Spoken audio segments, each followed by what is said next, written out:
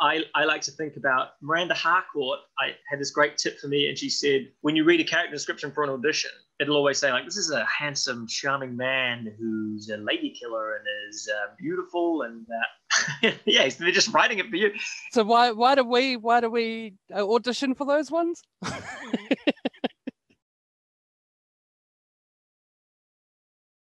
Basically, when I read a character description like that, like this guy is so smooth, I'm like, the hell? I'm not smooth. I'm like a thin, weedy little man from Whangarei. I can't play this guy.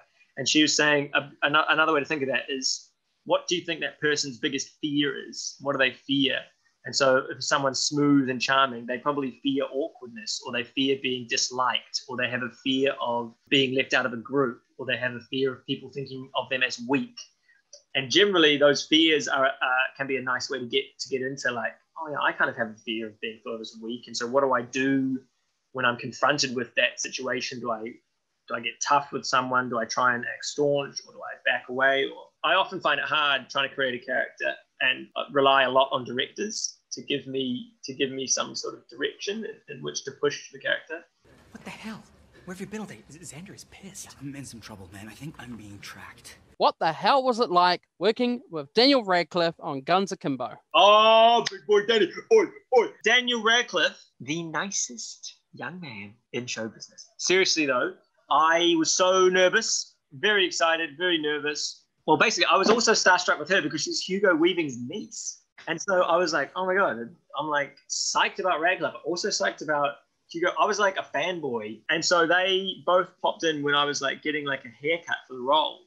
And I was so nervous. And I, I was just, there's a, there's a comedian who says, whoever tells you they can act normal around famous people is lying to you. It's like it's like when a cop comes, you can pretend you're acting normal, but it's like when you're driving next to a police car, you're just like, oh, hello, sir. Yes, here are my hands, 10 and 2, just going the speed limit, no big deal. You're, it's immediately you're aware of everything you do. You don't want to be weird. You don't want to be a creep. When I first met Daniel Radcliffe, I was like, oh, hello. Very pleased to meet you. Hello. Oh, it's sorry. Great one, Daniel.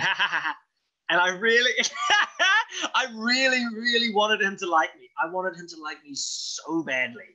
So much so. Okay, this is a story about Dan Radcliffe. This is an embarrassing story. So we were chatting, and I was so, I was like, come on, me and Dan are going to be pals. I'm going to show him around my city. Let's go.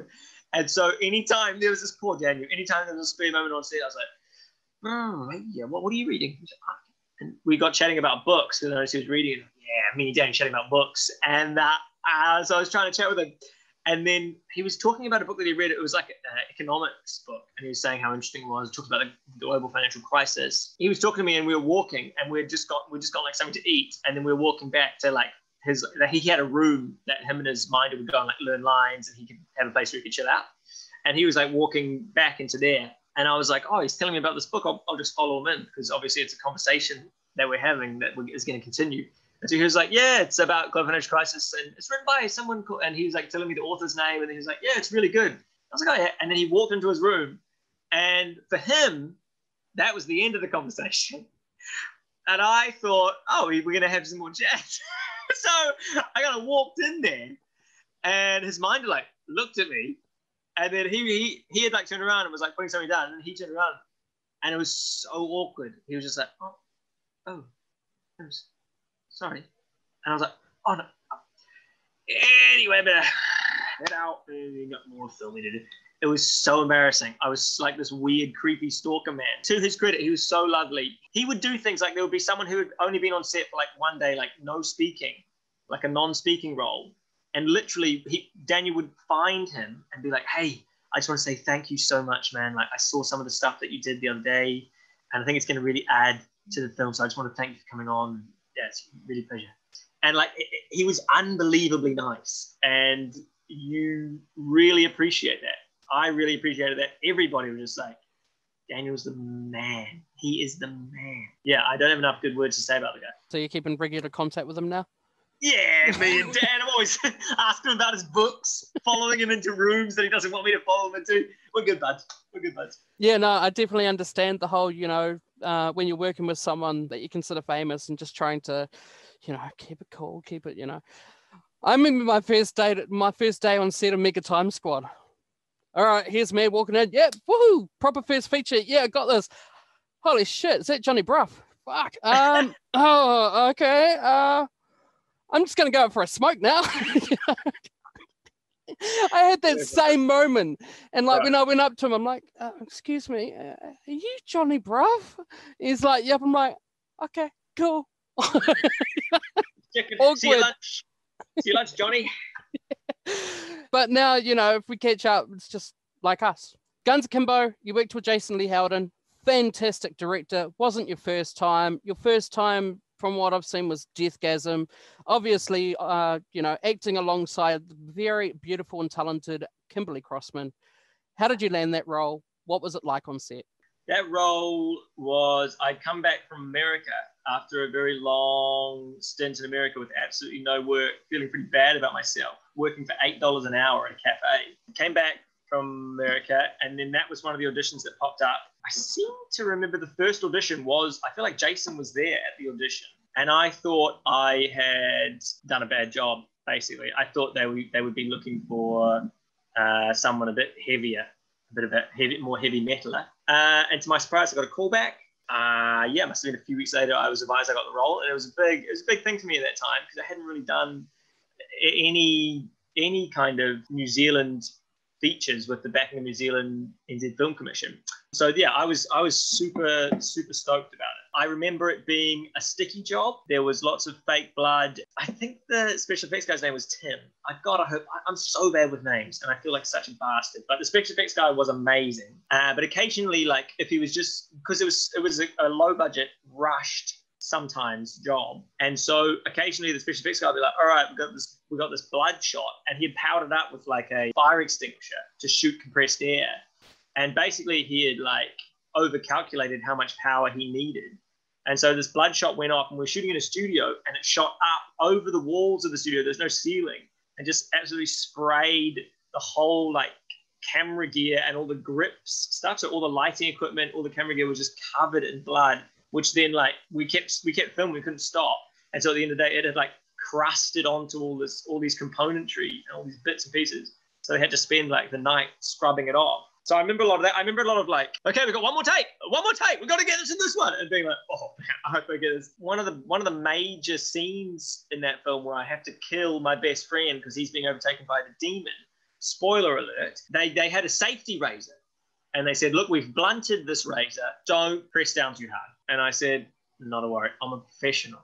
Okay, I've been doing this for years. And then it was like, okay, well, okay, now we actually need to. We don't have any time. We've got five minutes left in the day. This is a big shot, and it was like it was like a massive, big emotional scene for me. So I was like, okay, oh god, like pressure's on, like trying to act so hard, like trying to act, killing your best friend because there's a demon inside him. It's hard thing to act. And like cut, and he was like, dude, what the hell? I can feel it cutting my skin as you dragged it across. I was like, okay, sorry, sorry, sorry, sorry, sorry, sorry, sorry. I won't have it again. Won't have, sorry, man, sorry. And he's like, don't let it take. I was like, won't. Next take, same thing happened again. They were like, action, and they were like, really feel it, really feel it. And I was like, yeah, really feel it. Thank God it was blunted. Like that is such a dangerous. Anyway, he had a couple of lines. He had a couple of like scratchy lines across his neck, and he was he was none too none too happy about it. But uh, he lived to tell the tale. So, what was it actually like working with Kimberley Crossman? I knew Kimberley a little bit from one of my girlfriends was a good friend of hers, and so we had been around each other a, li- a very little bit. And I was like, oh yeah, I was like, Kim seems cool. But then on Deathgasm, I was like, Kim is again one of the most generous people. She's very like able to share her enthusiasm for things. She's in an, an incredible lift to a crew because she's always in such a good mood. So yeah, Kim was amazing, a true, true professional. She came back from LA to do the film on her own dime. She was just like, I'll, I'll be in New Zealand for it because she believed in the script and she believed in the story and Jason. And I know Jason was very thankful for that. You know, those people who you're just like, there's no way you're not going to make it because you always work so hard. That's Kim. She's she's always like she's just grinding away at her, at her craft, and it shows. Did you expect it to be so um, well received, so popular? Like I said at the start, I mean, people have been making pop vinyls on your character and whatnot. Did you expect it to to blow up to the point that it has? Not at all. I often think in terms of the things that I've done, it's so strange. It's so strange to be a performer and people say, "Oh, what what have you done?" And you can be have, have done it for ten years and you, people can ask you what what would I have seen you in, and you can say um nothing, or or people say oh what should I watch of your work, and you'll be like oh, nothing, dude, don't watch, and it's all bad. Like you can do it for 10, 50. I've been doing it by that stage for since you know I was 13 since I had an agent for 15 years and there was nothing that I could point to and be like, I'm confident that you'll at least get a laugh out of this or you'll think this is interesting. It's kind of amazing, strange place to be in. But I was really happy about Deathgasm, of course, really stoked for its success. And also, it was great for me because I feel like I can point anybody to that film and be like, it's just a fun thing to watch. It doesn't drag its feet, it's over pretty quick. And it's a nice, like, New Zealand take on a heavy metal horror film. And so, yeah, I, I'm just been like, God bless, God bless Jason House, God bless Jason Lee Howden and and his weird mind.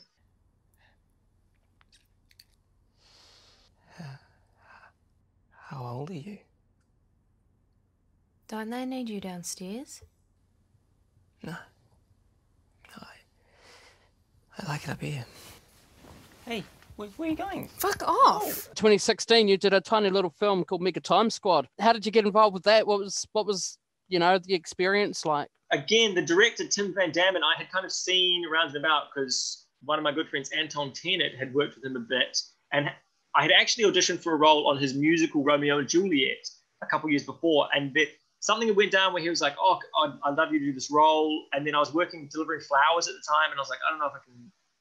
They didn't want to give me the time off, so I basically couldn't do that role. And I don't know if Tim remembers that. He might remember it differently. I was real gutted because I really liked Romeo and Juliet.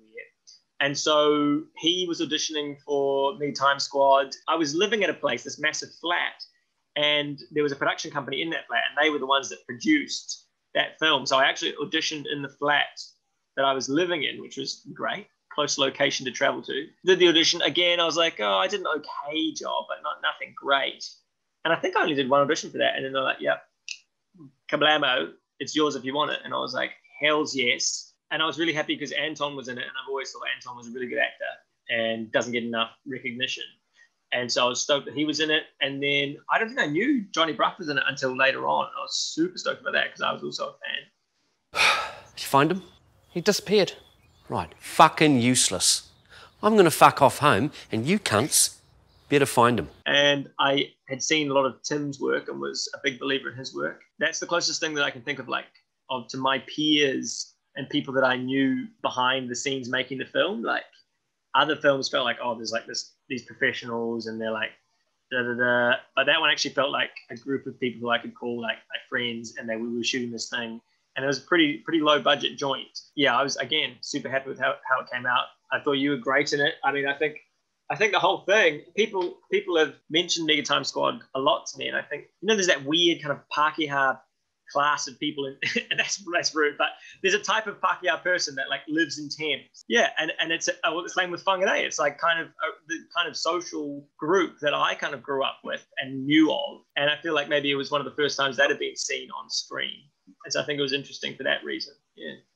Do you have a favorite scene? I love I love when there's multiple Antons breaking into the house and confusing everybody. That was real fun to play too. Uh, any, any favorite behind the scenes moments? I remember our rap photos on the staircase. Oh yeah, that was in the Grey Lynn Bowling Club, eh? That was pretty Yeah, sick, yeah. actually. Yeah. I really liked. We were out at like some weird abandoned ort, uh, like plant nursery. Do you remember that? Out west, it was like Hobsonville, and there was like an abandoned plant nursery. But it was you got you and um, Jaya ran in and had like He disappeared. yes, Yeah. Yeah. I like that day because it was just that was very chill. It was quite a nice environment. I like I like kind of there was lots of graffiti around, and uh, there was like a nice couch that you could just lay down. Yeah. That was my first day on set. Whoa, that's crazy. Yeah, that was. I- I've done two features, and Mega Time Squad's probably the biggest one that I've done. Whoa! I'm a Power Ranger! Ah! Ah! I don't want to be a Power Ranger! I do not want to be a Power Ranger! Because that would have been such an experience that you know would have been probably left you a bit dumbfounded. So, what was that experience like? That was amazing. It was a six month long shoot. We shot 32 episodes and we did three months before Christmas and then three months after, 2008, 2009. I had just moved down to Auckland about six to seven months prior. I was delivering pizzas. So it was like this amazing role And I one of the best days was ringing up and quitting that job as a pizza deliverer. I was 19, uh, so I was pretty pretty fresh, and it was uh, the first thing I had to do in an American accent. It was a pretty intoxicating time. It was a, it was a lot of cash, basically, and then there was a crew of people who you were hanging out with, which was and a lot of them were Kiwis. So there was a couple of Australians. We spent so much time with each other, and we hung out with each other on the weekend, and it really felt like I remember feeling like this is insane. I felt like I had been delivering pizzas, and then suddenly I was like head of a bank, or it felt like a really, it did feel insane. I remember the production, like, okay, we're getting, you guys are all going to dinner at this restaurant. It was like in the viaduct, and like me, 19 years old, was like, wow, big city, like, whoa.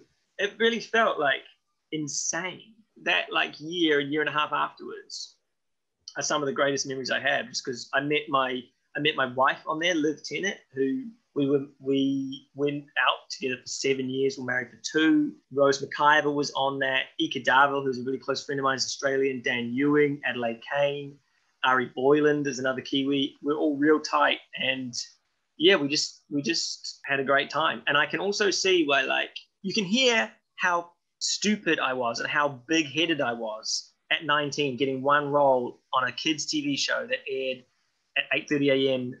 in some states of America. Okay, imagine if you're Justin Bieber or I. When I, I remember when I was on that show and I was like, I can totally understand how Justin Bieber or any of those teen stars are just crazy drug addicts because the power goes to your head. And I even remember like at the start of that filming process, people would be like, "Do you want a cup of tea?" Like, "Oh no, no, thanks. I'll, I'll get it. I'll, no, don't don't trouble yourself. No, do you want a chair?" No, no, I'll stand. I'll stand. And you get so used to that privilege and that money that by the end I was like, "Where the hell is my tea? This is warm, you little twerp. I'm not drinking it." It's like chucking it in people's faces. Like, I want a chair now. And we were like, "Ugh." We became like a little bit bratty. I would I would say. So yeah, it was an interesting, it was a really interesting experience and a taste of the life of, of a slightly successful actor, which was really intoxicating for me at the age of 19. Also a real treasure to be a part of that franchise because I've been I've been I've been a fan as a child. So it was a little bit like this is insane that I'm now the Green Power Ranger. It's insane. I don't know if you saw in lockdown there was one of the talk show hosts got a whole bunch of Lord of the Rings cast together to have a video reunion special. I don't know if you saw that. What would be the chances of getting you, Ari, Mike, and Dan together to do something similar? I'm up for it. you think they would be? That's a good question. I don't know. I know Dan is in Australia.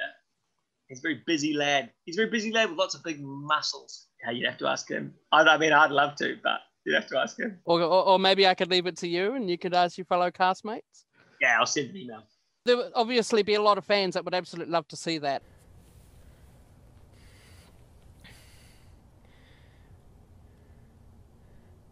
I know what you're thinking. You're thinking, damn, how wasted was I last night? I don't even remember recording this. so, Blood Punch. What would a typical day on set be like for Blood Punch? You wake up in a log cabin. Literally, you wake up in a log cabin in uh, the mountains near Hemet, California there's snow on the on the uh, roof. You can smell eggs and bacon that have been. It's the same smell that you've been smelling for the past two weeks because the catering person made eggs and bacon in the house every morning and then dumped the lard from the bacon that they would bake outside. So there was this. By the end, there was this mound of wax-like bacon fat, which was really disgusting. You put your costume on, which is already crispy with old fake blood and then the director says, "This is the scene where we're going to shoot you." Put some, you put some like Under Armour, kind of like padded. You put like a padded vest on. Okay, there's a great outtake of this is Ari Boyland who played one, one of the leads in this film, and they were, they were shooting him, and it, the director was like, "I'm just going to shoot you with like paintball, like dust pellets, so it looks like gunshots, but they're really just dust pellets." and he's like, it's only going to hurt if it hits bare skin. You've got like the vest on, you've got something underneath the vest, you've got side armor on, and he's going to be like a couple meters away just behind the camera, no big deal. So Ari was like, yeah, all good, all good, all good. And he was just like, just sell each shot. Yeah. And you can see on the outtake, every time it makes me laugh. Because you can see there's, there's like one, there's like, it's like one there, and I was like, ah, and like selling it, ah, oh, like selling it. And then one, the director just it, the, the bullet, like there's a bit of wind with it, it just curves off and it just hits like the sensitive piece of skin, like right there. And those things, I don't know, they're going like 100 kilometers an hour or something. And so you can see the difference when Ari's like, ah. Oh, and he goes, ah, ah, ah. And it kicks him in the armpit. And that was, a, that was a highlight for me. But there was lots of amazing locations out in the desert, at an airstrip in the desert. And basically, again, lots of fake blood, lots of fake guns, and uh, lots of fake methamphetamine. I'm helpful boy, and uh, Yeah. I'm helpful boy, and as you know, my hero, the Baton, is in quarantine because of the virus, um, and so just looking for a replacement hero, just for a short, a short term. During lockdown last year, you became a superhero. You interviewed people to become, you know, part of your team. How did that, that come about? Just before we were going into lockdown, my girlfriend pulls me aside and she says, We're going to make a web series. Because we've been talking about making something together. We've been like, It'd be great, isn't it? She was like, We're going to make a web series. It's going to be a sidekick searches for a new hero, and it's going to be all done over Zoom. So it was literally everything was her idea. I was like, That's brilliant. She was just like, We can make it fast. And so, like, literally, we we, we locked down with her parents in Wanganui, and literally the next day we were like calling up people, being like, "Here's the series idea. Here's your character idea. It's an improvised thing. Let's go. What do you have?" And so me and Ella would riff on ideas, and I funny funny things we thought for characters. Then we would send that out to actors. And the amazing thing was, everyone was in lockdown. First lockdown, no one knew what to do, so they would get a message from us, and I'd be like, "Well, not doing anything else." And so we got these amazing people. We got Kura Forrester, we got Jonny Brugh. We were just pinching ourselves at how lucky we were. And I really love improv. I'm, I'm not very experienced in improv, but I really want to do more. So it was a real joy for me. And Ella was kind of directing. Yeah, that was a, that was a real joy. It was a lot of work because it was just us two writing, filming, editing, and sending out invites to people. So it was a lot of work, but it was really, really fun. So your first acting stint that I saw uh, when I did some research on you uh, was Pet Detectives. So how did that how that happen? I mean, being your first role when you've been talking about you know doing similar type stuff at school, very low key. How did that all sort of come into fruition? There was one before that called Secret Agent Man. Very similar vibe. Young, the Secret Agent Man was young secret agents. Pet Detectives was young paranormal agents, I guess. I was playing a nerd. Pet Detectives stood for Paranormal Extraterrestrial Time Travel Detectives. We were like basically the Fabulous Five, but we dealt with the science fiction world. I remember that being a really good job. I lived in Auckland. It was super fun. Dominic Ona Ariki, who's now on One Lane Bridge, and he's an absolute gangster. He's a very talented man, and that was one of his first roles, I think. It was a pleasure acting with him. I just remember a lot of that was just like it was just super. It was super super fun. I don't have a lot of memories from that because it was so long ago. We spoke about celebrity crushes earlier, didn't we? My New Zealand celebrity crush has been in a couple of fantastic, well known TV shows. First one was Once Upon a Time. The next one was iZombie. Who am I talking about? Rose McIver. Fantastic actress. She is very beautiful. I actually have her autograph on two pop vinyls from iZombie. Church here, thanks to Daffodils. What was it like working with such a talented actress on Madigan's Quest? It was great. I didn't see much of her Madigan because she was all doing all I'm the lead of the show. I'm all I'm all this. I'm giving it all this. So I didn't see her much on Madigan's Quest. Madigan's Quest was fun.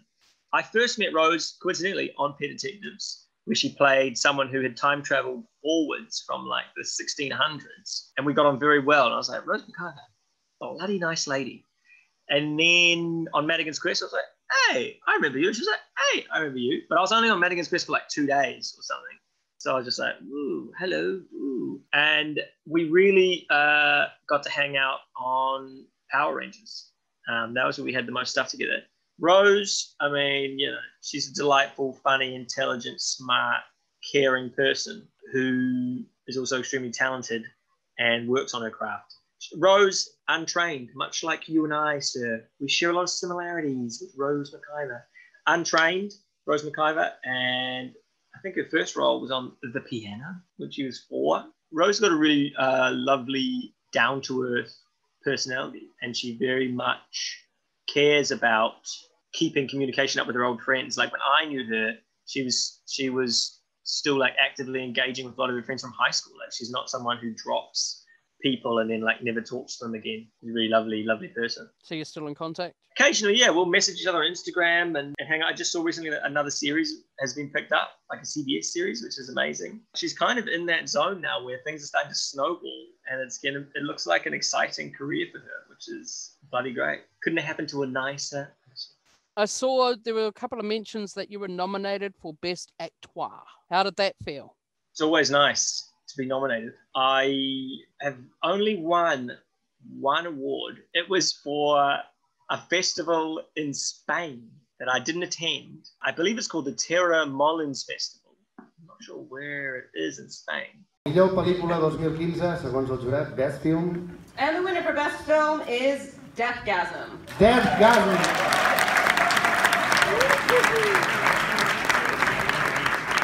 I got an acting award there, and literally, it was like I'd won the Oscar. I was like, oh, oh my god! I sent a, I sent an acceptance video. it's probably some like dude in his garage hosting this film festival. I'm like, I don't know how big it is. I had never heard of it before, but it's so gratifying to be nominated or to win any award, and it's also so meaningless, really, because how can you say that this actor is better than that actor or this film is better than that film? I, I always find it like it's crazy how we buy, but every year, like the Oscars are like, oh, come on. I buy into it every year. Like, ah. Amy Poehler in her book writes about the Oscars specifically. She's like, it's like uh, we're having dinner and people are like, do you want dessert? And you're like, no, no, no. And then suddenly the dessert comes out and you're sitting around and other people have dessert. And you're like, I want dessert. I want a dessert. She says that's like when you're like really, it's not until like other, on the night that you're like, give me it. I want it. I want it. Oh, shit! Dude, hey, you scared the crap out of me. Some of these guys are too carried away, eh? yeah. Yeah. Chianti? No. Hey, session? No. Okay, well, let me know if you change your mind, because my auntie grows it in Motueka. Of course, one other show that uh, film that we haven't talked about, of course, was a fantastically done remake. It involved uh, a, Mini or a BMW. What was it? It, it was a vehicle of some sort that travelled the, the, the length of the country, uh, and it was called Pork Pie. And uh, if I remember rightly, you played some sort of crazy kind of twisted person at the party. You do remember that correctly. Uh, imagine if it had been a VW Beetle. That, that, we, we should remake it with a VW Beetle. I played a, a man at a party who was wearing a Hannibal Lecter mask, and I really wanted to smoke weed with one of the main characters. And he wasn't that interested, but I was. And I had some weed that my auntie had grown. I can't remember where it was. I feel like the weed had a name, but I can't remember what I can't remember what it was. That was like a little a one day roll I, I think they they I want to say they flew me down to Wellington, but I don't know if that's true or not. But it was shot around like Lower Hutt or something. It was in this big warehouse that was empty and it was cold, and they had people pretending to party in there. And I just remember it was a night shoot, and everyone was a bit over it. I'm a huge Fili fan, and of course, I loved him in Almighty Johnsons. But yeah, tell me just briefly, what's it like working with Dean O'Gorman? He's a cheeky wee lad. Nah, Dean O'Gorman's seriously, seriously nice dude. He's also a really gifted photographer, and that's like his second passion. Dean O'Gorman is so is such a relaxed actor. Like during rehearsals, they'll like they'll like rehearse a scene before we do it. Uh, me, because I'm nervous, I'll be like, okay, I'm gonna give it my all. Like I'm gonna give it like 90% of my performance. no, don't take me away. And Dean O'Gorman is so chill. He's just been doing it for so long, and he's so relaxed. He's like in rehearsal, he's like, no, don't take me away and then I'm like, oh, it's it's looking a bit. That performance is looking a bit dead, uh, and then they'll roll, and he's just amazing, just like boom off the mark. Yeah, that was something I, I noticed about him. I was like, it feels so effortless to him, and he's so natural and relaxed on set, and yeah, he's another one who's just like it feels when you're with Dino, it feels like you're hanging out with like a cool kid from high school except he's like being nice to you, unlike the cool kids at my high school. We've just spoken about a whole bunch of projects that you've been involved with.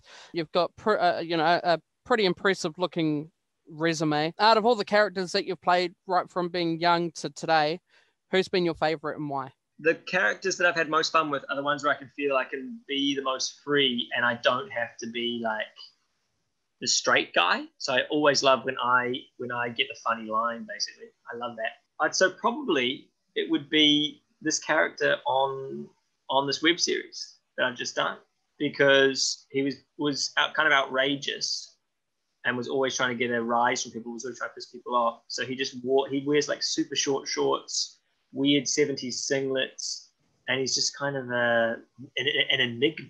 What is your biggest and most weirdest fear? I do not like the dark. Like if I have to go to the toilet at night, like I want I want spotlights on. I don't want this creeping around in the dark because if I flush the toilet and then I'm walking down a long hallway and there's no, I don't like it. I I, uh, I prefer mostly to be in well lit areas. If you could have a mundane superpower, what would it be? The ability to peel any fruit perfectly. So just imagine a perfectly peeled watermelon. You just got this bowl, this like dome of watermelon with no skin that you can just eat. What would be your theme song for your life? Go go Power Ranger. Do, do, do. Yeah. Uh, which fictional character would you love to meet in real life? Damn, that's a good question. I would. L- that is a friggin' head scratcher, man. Uh, let's go with. I'm trying to think of someone who would be like, man, that dude was so cool and interesting. And all I can think of is Ryan Gosling. What's his most interesting role? Blue Valentine. His role from Blue Valentine. Oh, no, that was. No, no, no. No, I got no. I have literally no answer for that. What is the worst purchase you have ever made? I, when I was on Power Rangers and had more money than sense, I bought a. Okay, yeah, this is the worst purchase I've ever made. Uh, there was a, a Quentin Tarantino themed party, and I said, I'm going to go as the Gimp. And what does every Gimp need but a $350 leather gimp mask from uh, like a sex store that I stumbled into. And it's real leather. The zips are beautiful quality. And I literally put it on, went to the party, and people were like, hey, who's that? And I was like, it's Milo. And they're like, oh, hey, cool, man. Uh, I was like, I should have $50. Literally wore it for one night. And since then, have only worn it every night since. No, since then, it's really not been used. but it is an incredible, like, in, in many ways, it was the worst purchase. And in many ways, it was an incredible purchase because I don't know anybody else with a Gimp mask. It's like, you can put it on and it's just immediately like, what the hell? It, it, it's crazy how it transforms a person. Like, you can just be looking at a person and they put it on, and you're like, oh, it's like freaky and scary and weird. And there's little pinholes for your eyes I can highly recommend it. Talking about that, what's a body part that you wouldn't mind losing? Okay, I could do without. I think I could do pretty well without my like left foot, if not left leg. You still hop around, I suppose. Hey, you'd be able to play a paraplegic. So it's Open not like your acting's goodbye. yeah, exactly. Uh, favorite person that you've worked with? It's probably going to be Daniel Radcliffe because I was such a fan, and because he was so nice to me without needing to be. And you wouldn't expect that from someone, you know, with that kind of background, yeah, credentials. You know, uh, I'd sort of expect them to be like, "Yes, I'm Harry Potter," you know, mm-hmm, kind of thing. But he d- doesn't even sound like that. And that's one thing that's been really shining through this interview is the fact, you know, we've spoken a lot about it, you know, Kiwi actors and stuff and how they're so chill and, you know, they're so, you know, having that nice chat. Uh, unless you're a young Rose McIver who thinks you steal the show, putting that aside, you know, it's always just laid back. Then you flip it over to the other side and you look at most other countries, especially big film countries like America. They're like, I'm an actor. Step away from me. I don't need you, you know and that's where we definitely differentiate is we are more open and who would you like to work with I'd love to do a film with Taika Waititi. Love to do a film with Michel Gondry. I could play Timothy Chalamet's older, more beaten up uncle or cousin. just like people could say i could easily play jack black's brother so i know i get That's that exactly it. i get that well that that concludes our interview. Thank you very much, Milo. I mean, it's been great. I've really enjoyed it. It's been co- uh, almost like a catch up, but at the same time, I'm interrogating you. It's great.